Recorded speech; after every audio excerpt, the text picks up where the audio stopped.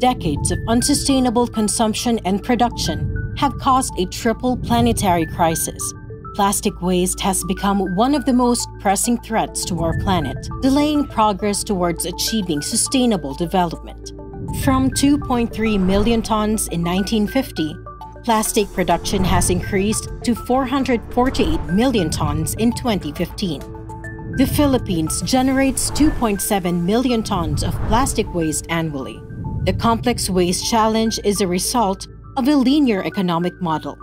The Extended Producer Responsibility Act of 2022 helps address the issue of plastic pollution and enable the shift towards a circular economy.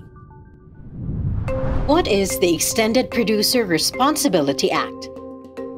The Extended Producer Responsibility Act of 2022, or Republic Act Number 11898, mandates obliged enterprises to be environmentally responsible for the entire life cycle of a product, from manufacturing to consumer use and up until the product's end of life.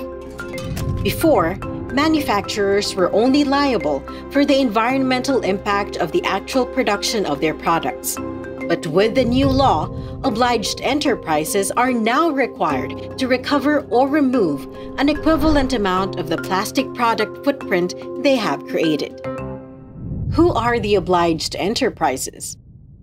These are the large enterprises with total assets over 100 million pesos. They are the brand owners who sell or supply any commodity under a brand, label, or identity using a product they produce or a material supplied to them by another manufacturer or supplier. They are the product manufacturers or importers who supply their commodities for the use of the general consumer or distribute the same material products of a brand owner. Micro, small, and medium sized enterprises are not required under the law, but they are highly encouraged to practice EPR voluntarily or be part of the networks practicing EPR. However, MSMEs with a total value of assets of all enterprises carrying the same brand, label, or trademark that exceeds that of medium enterprises, as prescribed by Republic Act No. 9501, are also mandated to comply. To further understand, the EPR law covers plastic packaging that is used to carry, protect, or pack goods for transportation, distribution, or sale.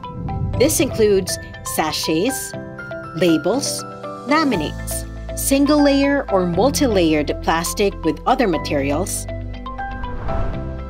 rigid plastic items, plastic bags, and polystyrene. The obliged enterprises must establish their EPR programs. EPR programs include the following reduction of non environment friendly plastic packaging products, such as adoption of reusable products, redesigning of the products to improve its reusability, inclusion of recycled content, and adoption of appropriate product refilling systems for retailers.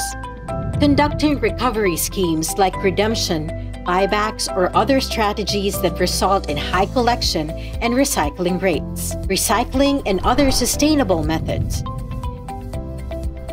moving plastic waste to appropriate disposal or processing sites in the country, setting up commercial or industrial scale recycling, composting, thermal treatment, and other waste diversion or disposal facilities, cleanup activities in coastal areas, public roads, and other territories, and partnering with the local government, communities, and the informal waste sector to recover plastic waste. These programs can be done individually, collectively, or through a producer responsibility organization or PRO. All of these must also be submitted to the National Solid Waste Management Commission through the Department of Environment and Natural Resources. Noncompliance with the law will result in fines. Through EPR programs, the compliant companies are also incentivized while helping advance the circular economy, reducing greenhouse gases and preventing more waste leak into our bodies of water. This landmark legislation paves the way for the Philippines in bolstering its effort to shift from a linear to circular economy, creating more green jobs and promoting sustainable business practices.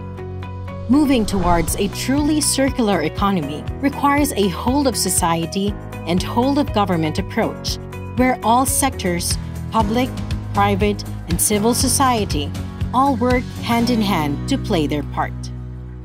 It's time to break the take, make, waste system.